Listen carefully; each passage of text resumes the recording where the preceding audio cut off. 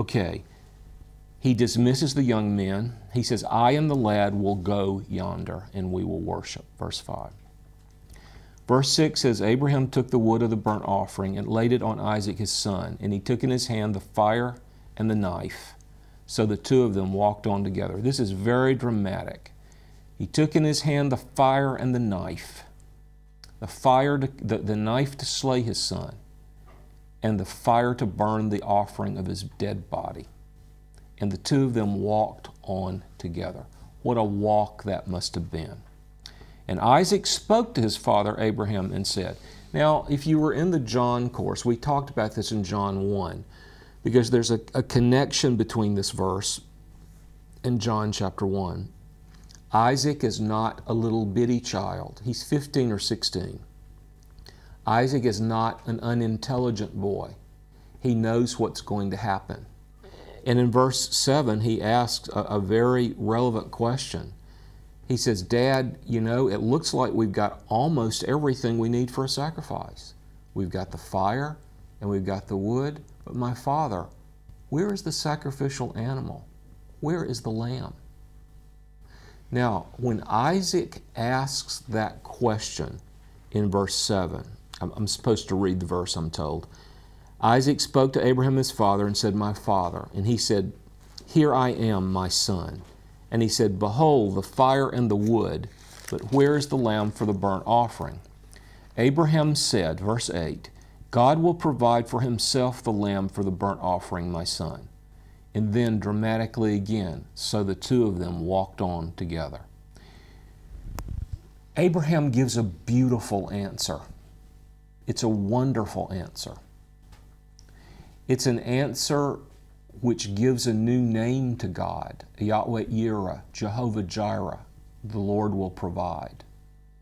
It's an answer of faith because the answer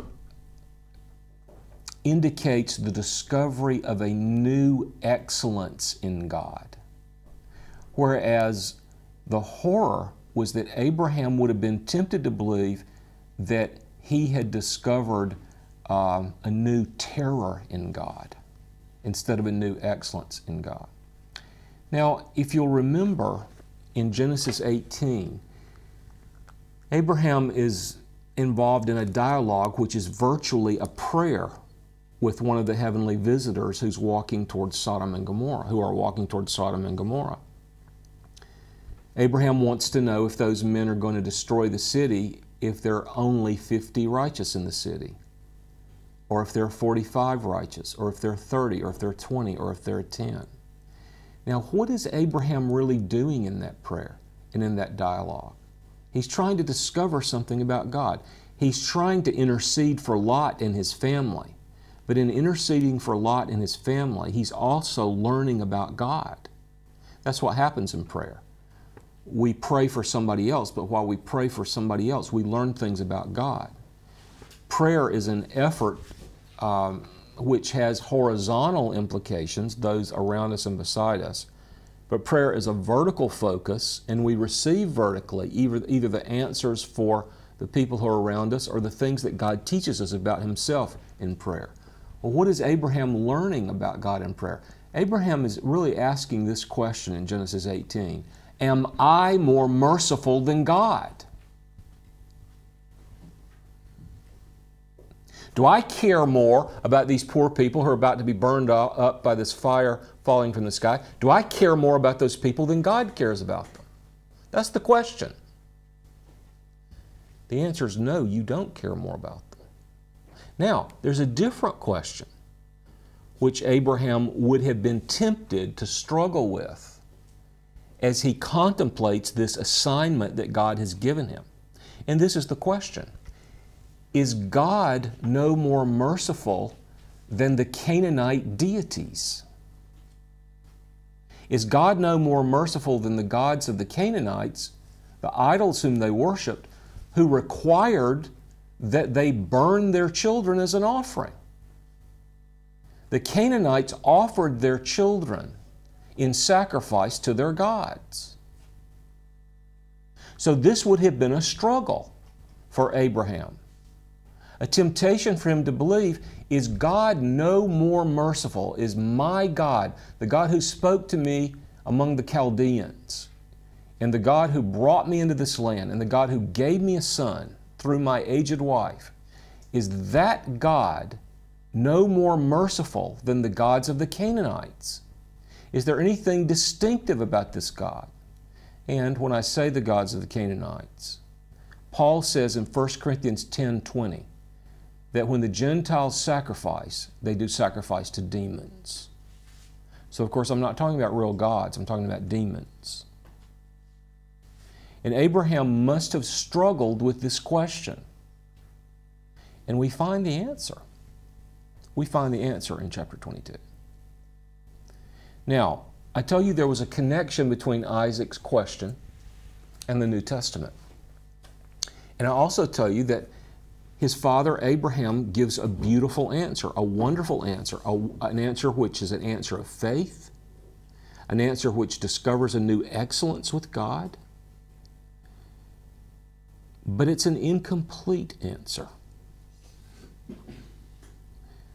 Isaac says, Father, here's the fire, here's the wood, but where is the lamb?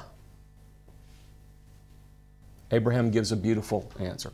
The Lord will provide the lamb, my son. But it's not a complete answer. The complete answer is not found in Genesis 22. The complete answer is not found in the book of Genesis.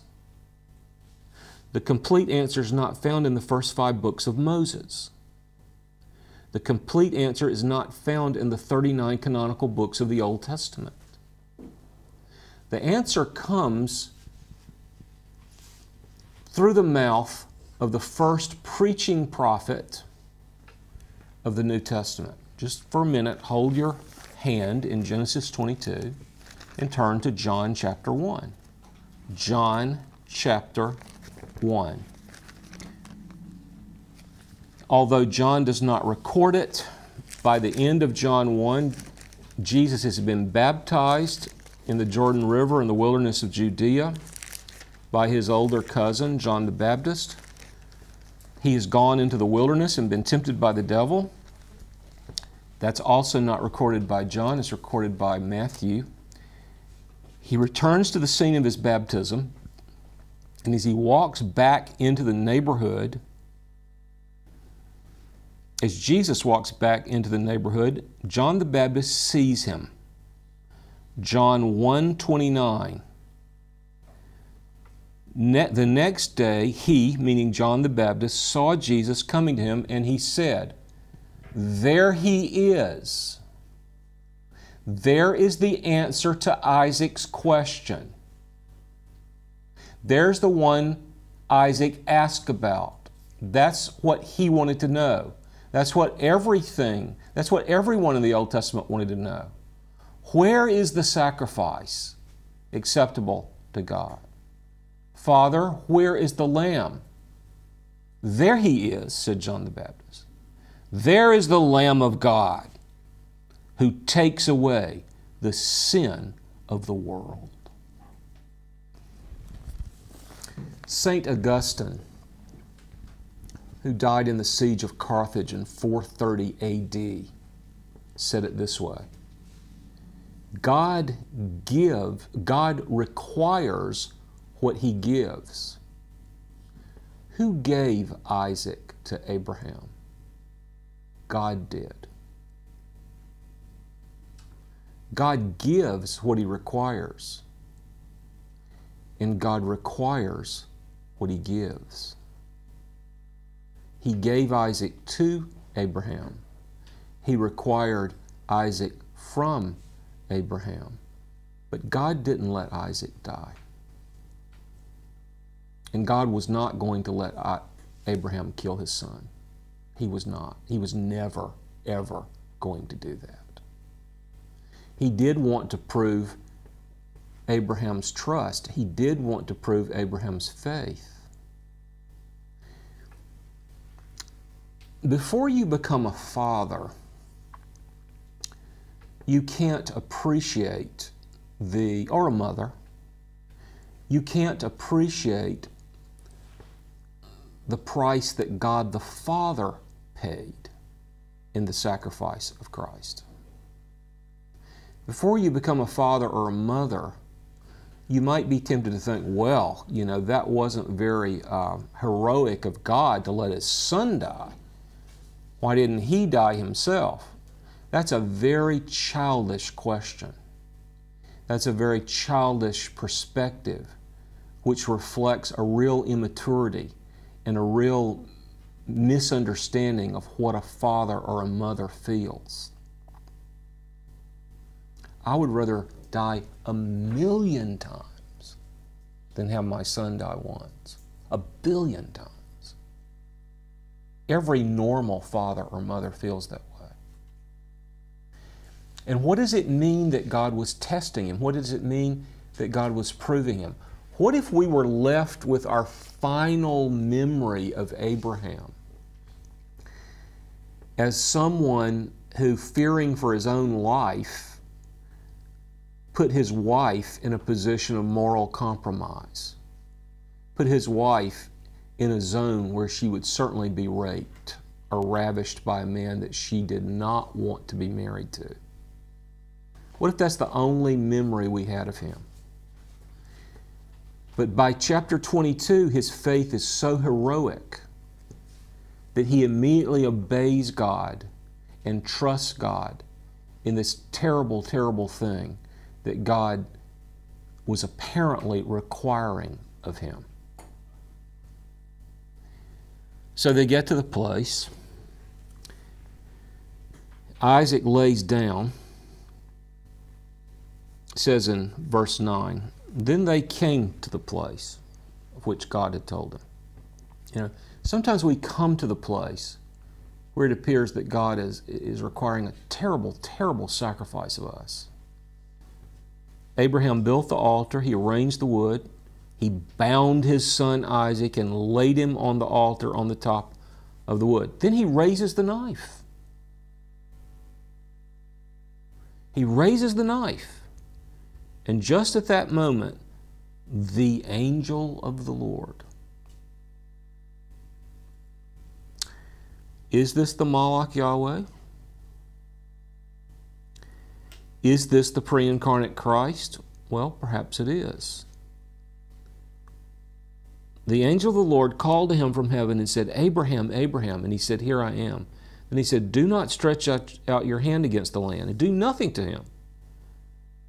For now I know that you fear God, since you have not withheld your Son, your only Son, from me. It's Christ. From me. You, the angel speak. You haven't withheld your only Son from me. TVS Seminary is a great way to invest in the kingdom of God. Please consider making a donation to support this effective educational and outreach ministry today. We exist upon your gracious giving. Please donate to support TVS Project's continuation and growth. For more information, visit tvsseminary.com. Why did Jesus take on humanity? He took on humanity so he could take on mortality. He took on human flesh so that he could die as a man. There are two gospels which have gone out over the world. There's the gospel of the Taliban, which says we need to kill the unbeliever. And there's the gospel of the Lord Jesus Christ, who says we need to die for the unbeliever. The Taliban says, if you don't believe, I'm going to kill you to get you into hell as soon as possible. The Christian says, if you don't believe, I'm willing to die for you to allow you to live a little longer so that one day you may repent and join me in heaven. Now, here's the question we must ask Which gospel is from God and which gospel is from the devil?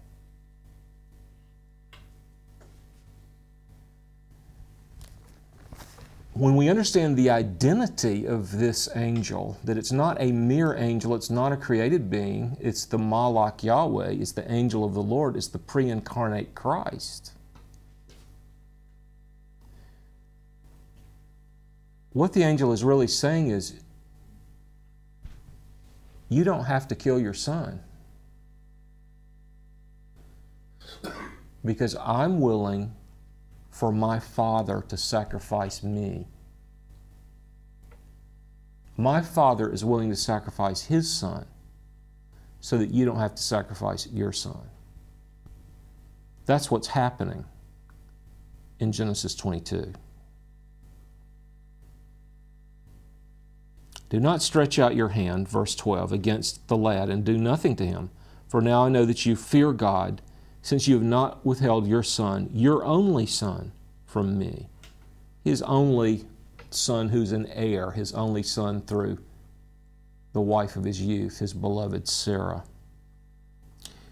Verse 13 says that then Abraham raised his eyes and looked, and behold, behind him a ram an animal caught by his horns in the thick underbrush. What was he caught by? He was caught by a crown of thorns.